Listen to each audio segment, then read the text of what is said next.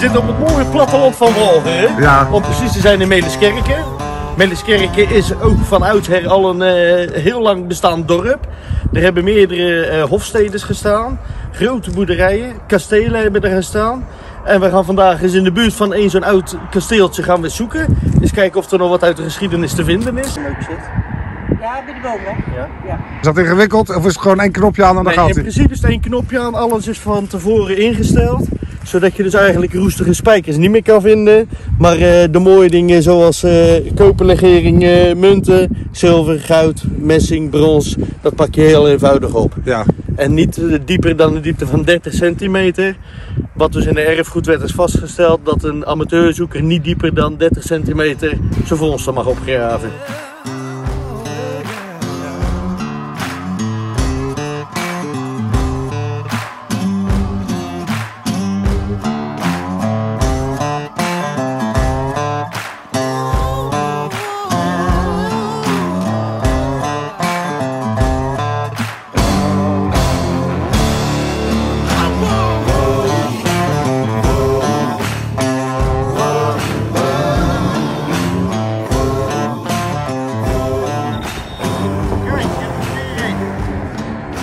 Jaap, de landeigenaar. Ja, Ja? inderdaad. Maar kun je jezelf eens even voorstellen? Wie, wie ben je? en, Eh, eh, ik ben eh Jaap Franker en doe eh, samen met mijn broer dit akkerbouwbedrijf. Ja, ik begreep net al van je vrouw dat het wel meer is dan alleen maar... Ja, we hebben er al heel wat bij gedaan. We verkopen kunstmest, we doen overslag van zaaizaden, drogen van zaaizaden, contracten onderbrengen voor zaaizaad. En eh, ja, wat er hier dan rondom de boerderij gebeurt, dat is het akkerbouw gebeuren. Dit gaat al eh, een paar generaties terug, deze boerderijen. Ja, ik eh, ben eigenlijk nooit zo naar gezocht, maar eh, vijf generaties terug kan ik wel, eh, kan ik wel opnoemen. Ja, nou ja, dat is mooi hè. Dus eh, de, de geschiedenis is toch, wel, is toch wel interessant, omdat dat allemaal een Ja, beetje... inderdaad. Maar hoe zijn jullie nou bij elkaar terechtgekomen? Want jij, jij, in principe zit jij in, in Middelburg. Ja, klopt ja. Maar bel jij nou gewoon bij, eh, bij iemand aan? Of bij, bij- meestal is het toch bij boeren, denk ik? Ja, dit is, dit is in toeval eh, ontstaan omdat ik de, een boer heel goed ken hier uit de omgeving. Via hem ben ik eigenlijk weer eh, met Jaap in contact gekomen. Sindsdien ben ik eigenlijk hier regelmatig te vinden met mijn workshop. En hij, doet hij doet het wel naar jullie zin? Of wat, wat, ja, wat, hoe gaat het dan? Zeg je dan van, nou, ik wil graag eens een stukje proberen? Of, Ja, ik doe een, eh, een teststukje verkeers gedaan om te kijken of er überhaupt wat te vinden was. Nou, toen vond ik eigenlijk ook al wat muntjes en wat sporen echt naar het verleden terug. En dat is hier achter de boerderij geweest. En daar heb ik een- vervolgens een workshopje ge- gegeven. En toen vond ik een heel oud, eh, of ik niet, maar de, de, degene die de workshop deed, vonden een heel mooi eh, beslagstuk van een paard. Paarden een wangbeslag. Uiterst zeldzaam, dat is amper wat van gevonden. En dat was gelijk de koppeling voor mij. Nou, hier ligt wel meer interessants. maar hoe gaat het dan? hè? Want eh, jij, ma- je zegt net, je mag tot 30 centimeter eh, graven. Ja, dat is bij wet vastgelegd. Maar stel nu, stel nu dat je een eh, bakje vindt met 10 eh, waardevolle muntjes. Zijn die dan voor Jaap of zijn die voor jullie beiden? Of? Bij, bij wet is het vastgesteld dat het altijd 50% voor de landeigenaar is en 50% voor de vinder. Ja, En de vinder is altijd een beetje een lastige context, want heel vaak wordt gedacht, degene die met bijvoorbeeld een metaaldetector loopt en die het signaal krijgt, is de vinder. Maar bij wet wordt er dus gesteld, je bent pas vinder op het moment dat je het fysiek uit de grond haalt. maar Jaap, dat is voor jou natuurlijk ook een afweging. Want eh, ja, ik neem aan dat jij ervoor kiest. Dan zelf kom je daar waarschijnlijk niet aan toe, aan zoiets. Nee, het is Nee. niet mijn hobby, maar ja, ook een onbekende hobby. Misschien wordt het wel mijn hobby, wie weet. Ja, nou ja, ik zit daar ook zo naar te kijken. Ik vind het wel super interessant. En eh, ik heb niet eens laarzen, dus dat is ook nog even een dingetje. Maar eh, ja, het, het, het is gewoon super interessant. En zeker als je inderdaad in dit soort eh, ja, gebieden met zoveel geschiedenis zit. Dus eh, Nou, zonder mee. nou, dan gaan we eens kijken of we wat kunnen vinden, toch? Ja. Als er ook nog wat boven de grond komt. eh, Ja, dat- eh, graaf je ook even mee, Jaap? Of eh, moet je zo het land Nou, weer ik op? Of? doe het uh, machinaal geraden. Dat gaat gelijk wat harder. eh. Maar een andere titel voor boer, hè? Aardkostgraveur.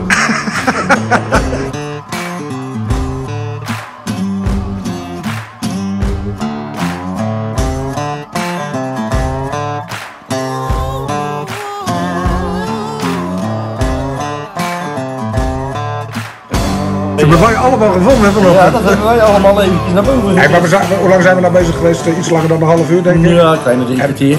En ik vind dat dan toch, eh, nou ja, ik vind het best een rijke oogst. Kijk, er zijn twee musketkogels, een Ja, klopt. muntje Ja, nou uit Duits. Overijssel. Ja, een duit uit Overijssel, eind 1600. Een schoengesp en wat was het andere nou? Een zak. eh, Eh, lakenlood. Daar deden ze lakenzakken mee eh, verzegelen.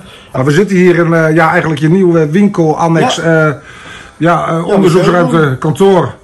En eh, hier verkoop je ook eh, detectors. En eh, nou ja, ik had het in het eerste stukje al geschreven, je verzorgt ook workshops. Ja. Maar als ik jou zo wil praten, en eh, daarnet waren we op het land in Meliskerken, dus het was wat meer wind. En, eh, maar dan, dan, dan klink je ook bijna als een historicus, maar dat ben je niet. hè? Je bent, Nee, een, nee. Je bent een kok. Ik ben een kok, ja. Ja, nou, vroeger werkte je nog wel op de, in, in Middelburgse Ik heb in. Middelburg gewerkt inderdaad. Ja. Ik heb op de markt jarenlang gewerkt bij eerst Moos. En daarna is dat uh, Cheers geworden.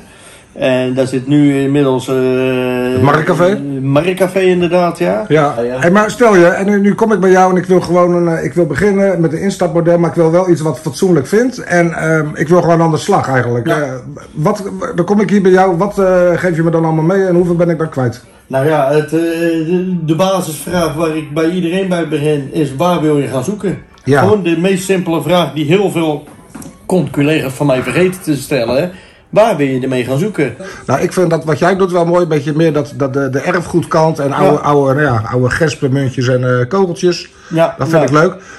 Dus wat, wat krijg ik dan mee? Zo weet je als ik waar ik vanochtend mee liep. Ja, zo eentje als waar jij vanmorgen mee liep, daar kan je uitstekend mee uit de voeten. Maar ook op het strand. Maar toen jij die munt vond, ik even, jij had echt een van de duurste te pakken die jij ja, eh, ik gebruikt. met een wat professionelere detector om zo maar eh, netjes te En zeggen. die kost ook 900 euro. Ja, dat is wel een... maar Ja, maar dat merk je ook het verschil wel. Ja, maar die begon echt te zingen toen hij een muntje vond. Ja. En eh, die van mij waarschijnlijk dan niet, of wel? Klopt. Nee, niet zo. Nee, niet zo. maar de- hij Maar vindt hem is- wel. Ja, tuurlijk. Ja. Die van jou die had hem ook gevonden. En dan ben ik benieuwd naar je drie mooiste vondsten of naar je allermooiste Ja, vondsten. dan moeten we naar de kluis thuis. Ja, die, nee, die, die leg ik niet hier natuurlijk. maar, maar kan je daar wel wat over zeggen? Wat, wat, wat- Ja, daar kan ik zeker wat over zeggen. De, een van die vondsten dat betreft een hele zeldzame vergulde munt. Een Nuremberg eh, rekenpenning.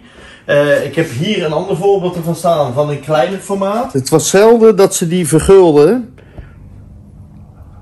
Maar dit soort munten gebruikten ze heel vaak als propagandamiddel. Maar mijn meest waardevolle vondst, dat is misschien niet financieel uitgedrukt, maar wel voor mij het meest waardevolle. Dat is toch wel mijn Carolingische sleutel die ik heb gevonden. En die dateert uit de 8e, 9e eeuw na Christus. Oh, zo oud? Ja. Maar die is wel mooi zeg. En die is gevonden op een akkertje in Domburg en die lag nog geen 15 centimeter diep.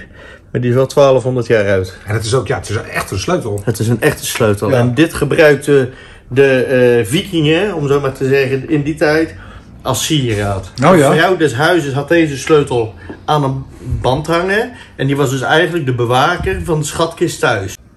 Nou ja, zoals je dus zal begrijpen, dit soort vondsten die blijven hier niet liggen. Die worden altijd, eh, als ik dus buiten op mijn presentatie, worden die altijd meegenomen naar huis en veilig Ja, in de ja, kluis opgeborgen.